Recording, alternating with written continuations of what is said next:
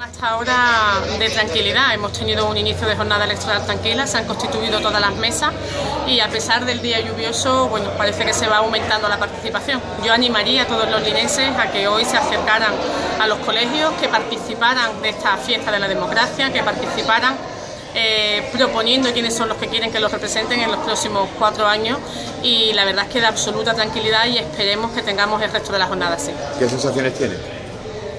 Pues la de tranquilidad, la verdad es que no puedo tener otra.